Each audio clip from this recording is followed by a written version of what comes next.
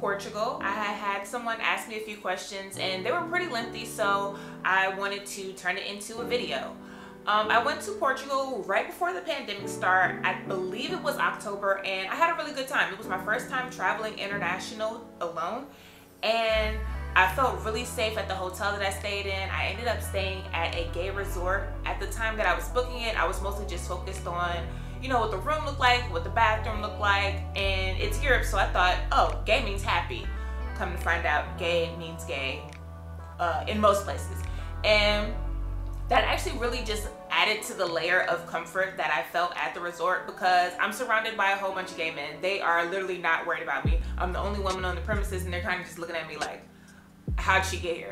But outside of that, very, very safe uh, with the hotel. Um, they talked to me about getting uh, scammed and theft uh, while they were in Portugal. Apparently that's like a big thing.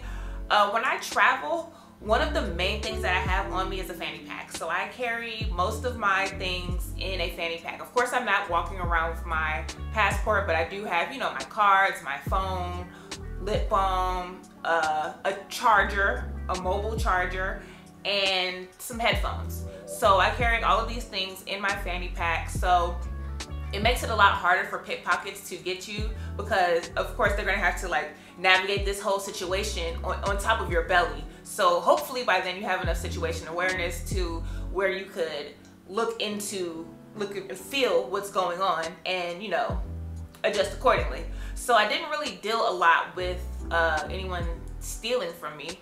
Um, Quite the contrary, I went to stay at, well no, I didn't want to stay, I went to eat at a restaurant and they had some really, really good food and then once it was time to pay, I was like, oh, you guys only take cash. Damn, I have no cash. And they actually let me leave the restaurant, not leave any belongings or anything. They said, okay, you know what, go get some cash and come back. And honestly, that was probably the most gracious thing that could imagine and definitely not something that happens too often in America. Just someone just saying, oh yeah, you know, come back and bring the cash or go to an ATM and da da da da. That was very, very gracious. Uh, for the most part, I did use my phone to navigate. Uh, of course, try not to really just stare at it while I'm walking throughout the city. But I didn't really need it because one thing that I will do is just leave my room. Leave my room and just start walking. I don't know where I'm walking, but hopefully I find something cool and hopefully I find something I like. And that's my favorite way to explore the city versus going to see sites and all those other things. I felt like if I just hit the pavement, then it would benefit me a lot more and I'd see a lot more of the culture that way. So I didn't really use my phone a lot except when it was time to navigate back to my hotel room.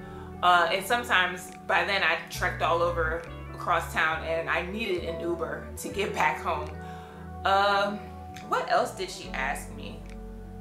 Because it was quite a few things.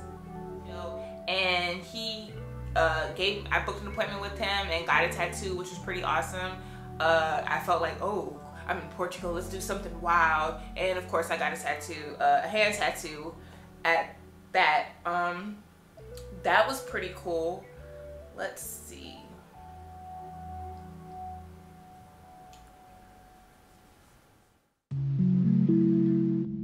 you were saving for, whatever your savings goal was, and you get to spend it where necessary. And that really helped me with traveling. And I felt so comfortable with knowing that not only do I have a traveling budget, but I can do that without having to break my ass, or bust my balls. I have found out that there are some pay in four payment plans for flights, which I haven't tried out yet, but I'm definitely interested in it because it seems like a really good deal, especially when you are looking at more expensive flights, which are mostly international. So I will be looking into those and circle back surrounding that.